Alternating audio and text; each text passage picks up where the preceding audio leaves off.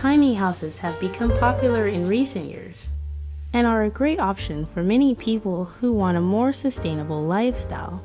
Your dream frame tiny house is a portable house, usually built on a wooden frame.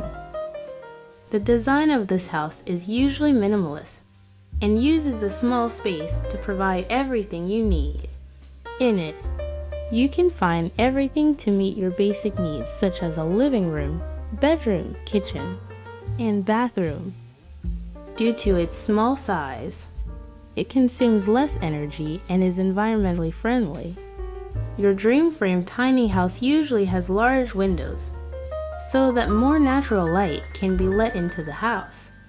Outside, it can also be a patio or terrace so it can be used to relax and watch nature on sunny days.